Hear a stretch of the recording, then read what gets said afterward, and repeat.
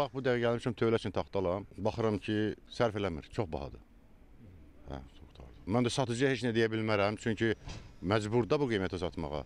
Mənim gəlirimlə hesablayanda mən bunu heç ala bilmirəm. Bazarda ən çox artım olan tikinti materialı taxtadır. Son bir ayda bir kub taxta 10% bahalaşıb. Ötən ilin bu vaxtı bir kubu 250 manata satılan taxtanın hazırki qiyməti 350 manata qədər bahalaşıb. Qiymət bahalaşması müştəri azlığına səbəb olmayıb. Alıcılar bildirir ki, yağıntılı aylarda tikintilərini yarımçıq saxlamamaq üçün taxta material almağa məcburdular. üzü qışa getdikcə daha da çətinləşir. Yəni əhali çarəsi kəsilir yəni.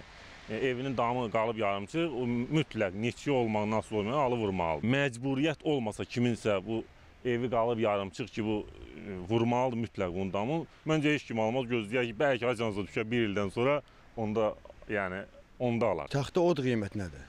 Əvvəl buna var taxta bir bahadır, baha idi. Bu indiki qiymətə baxanda nisbətən. Amma indi 10%, 15% qalxıb taxtanın qiyməti. Gəlmişəm taxta almağa, pulum çatmır. Satıcılar qiymət bahalaşmasına səbəb kimi dolların və rublun məzənnəsinin manata nisbətən yüksəlməsini göstərir. Bundan başqa ölkəyə ithal olunan taxta məhsullarının miqdarı ötən illərlə müqayisədə azalıb. 240-250 olan vaxtı o bir 7-8 ay, 1 il bundan qabaq idi.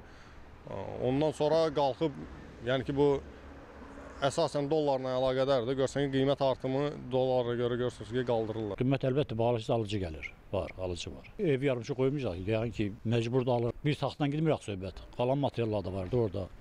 Bir taxta ilə düzəlmir ki. Taxtadan fərqli olaraq dəmirin qiymətində son 2 ayda 2-3% azalma müşahidə olunur. Sement, şifer, plastik və digər tikinti materiallarının qiymətindəki artımsa nəzərə çarpacaq dərəcədə deyil.